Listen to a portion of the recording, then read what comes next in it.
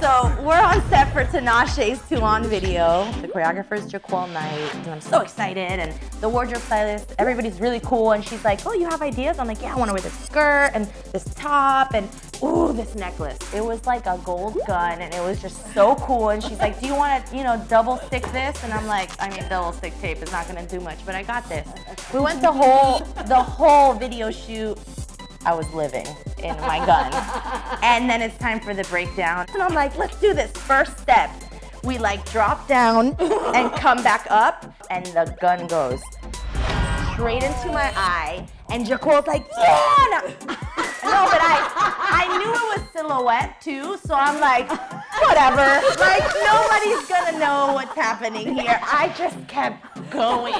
They yell cut, and I'm like, oh! He comes over, and I'm like, I blind stars. I'm like, I don't, I don't know if I can do this again. And my eye was like humongous. I, I couldn't finish the video. You're kidding. Of course not.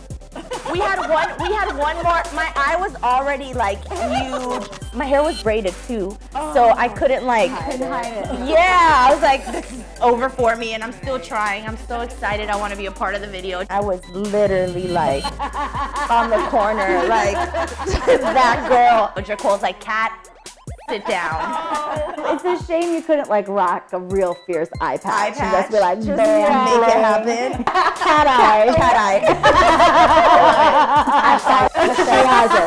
Hazard. Hashtag cat eye.